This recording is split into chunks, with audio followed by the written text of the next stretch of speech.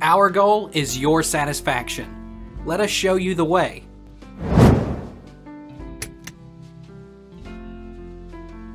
How do I get my Straight Talk phone unlocked?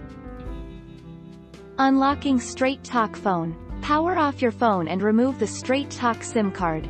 Insert the new carrier's SIM card into the slot and power on the phone. You will get a notification that the phone needs to be unlocked first to use the new SIM card. Enter the code you got from Straight Talk and click Unlock. What carrier does Straight Talk use? Straight Talk is a type of carrier known as an MVNO, Mobile Virtual Network Operator, which means that it doesn't run or own a wireless network. Instead, it purchases the right to use towers from AT&T, T-Mobile, Verizon, and Sprint. The 13th of September 2013. Can I put my AT&T SIM card into a Straight Talk phone? Yes, your SIM card will work with an AT&T compatible or unlocked GSM phone.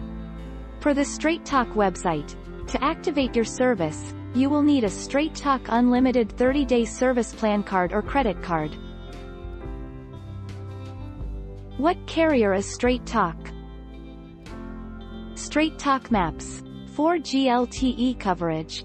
Straight Talk is a mobile virtual network operator, MVNO, using AT&T, Verizon, and T-Mobile towers to provide its customers with cellular service. Your first look into Straight Talk's coverage should be a study of the 4G LTE coverage maps of each major network. Take our lead. Let's help you make your mark.